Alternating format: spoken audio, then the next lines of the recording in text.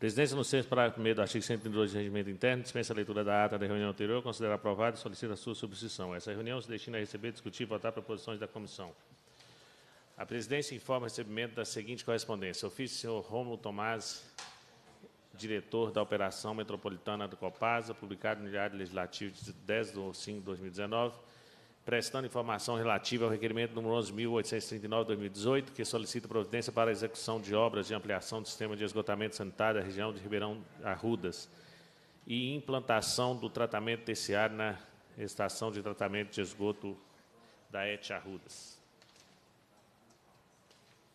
Passa-se a terceira fase da ordem do dia, que compreende recebimento, discussão e votação das proposições da comissão.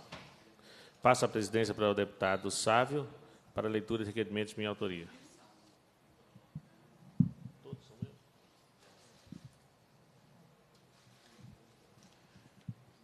Requerimento de autoria dos deputados Jean Freire e professor Cleiton, solicitando, ah, requerendo nos termos regimentais, ah, providências à SEDESE para a viabilização da atualizar, para atualizar o Plano Estadual de Enfrentamento à Violência.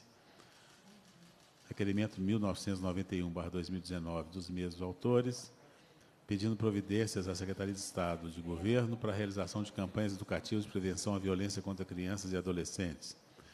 Requerimento 1992-2019 dos mesmos deputados, solicitando à Secretaria de Estado de Desenvolvimento Social de SEDESE pedido de providências para a realização de campanhas educativas à prevenção da violência contra crianças e adolescentes no Estado de Minas Gerais. 1993, dos mesmos deputados, requerendo, nos termos regimentais, encaminhamento ao secretário de Planejamento, secretário de Cultura e à Secretaria de Educação e ao Defensor Público Geral e ao presidente do Fórum Mineiro de Conselheiros e Ex-Conselheiros as notas taquigráficas da sétima reunião ordinária da comissão. 1994, 2019, dos mesmos deputados, requerendo, na forma do regimento, seja encaminhada à Secretaria de Estado de Trabalho Desenvolvimento Social pedido de informações sobre a implementação e execução de programas de serviço de prevenção às violações de direitos das crianças e adolescentes. 1995-2019, também dos mesmos deputados, requerendo, na forma do regimento, manifestação de repúdio à Secretaria de Estado da Cultura pelo não comparecimento a audiência pública da comissão realizada dia 14 de maio de 2019, com a finalidade de debater abuso e violência sexual contra crianças e adolescentes em alusão ao Dia Nacional de Combate a essa violência. 1996-2019, dos mesmos deputados, requerendo na forma do regimento manifestação de repúdio à CEPLAG, pela mesma razão.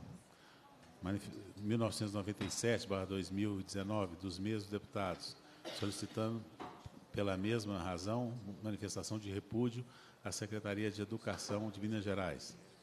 1998-2019, requerendo na forma regimental, também os mesmos deputados, seja encaminhado à Secretaria de Estado de Segurança Pública pedido de providências para elaboração de relatórios sobre atendimento e transporte de crianças e adolescentes vítimas de violência no Estado de Minas Gerais.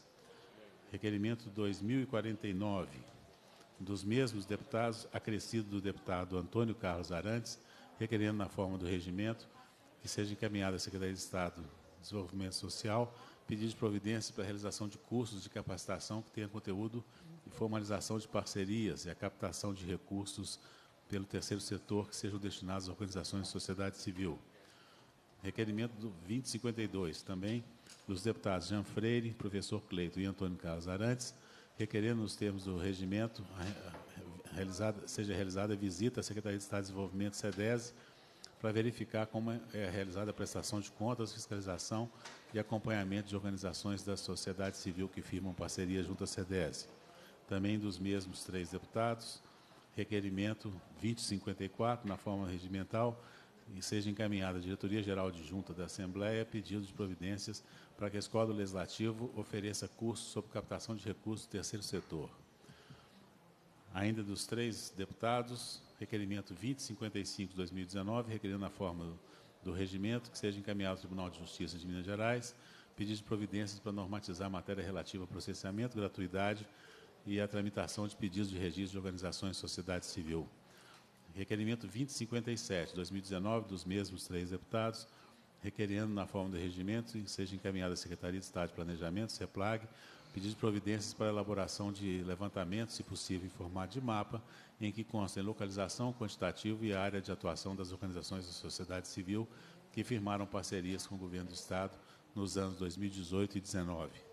Requerimento 2059, de autoria dos mesmos três deputados, ou não, agora do deputado Jean Freire e Antônio Carlos Arantes, requerendo, nos, na forma do regimento, seja realizada audiência pública para debater impactos da portaria 233, de 15 de abril de 2019, da Secretaria do Tesouro Nacional, na realização de parcerias junto às organizações da sociedade civil. Em discussão, os requerimentos. Em votação, os deputados que sejam favoráveis permaneçam como se encontram. Aprovados os requerimentos. Nesses termos, devolvo a condição dos trabalhos ao presidente da comissão, deputado Jean Freire. Muito obrigado, deputado Sávio. Indago aos deputados se alguma matéria a ser apresentada nessa fase. Cumprida a finalidade da reunião, a presidência agradece a presença dos parlamentares, convoca os membros para a próxima reunião ordinária e determina a lavratura da ata e encerra os trabalhos.